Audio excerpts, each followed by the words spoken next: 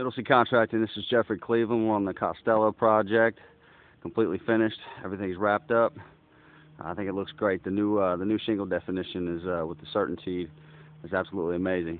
So these folks are happy. We got it uh, got it 100% Middle Sea Contracting.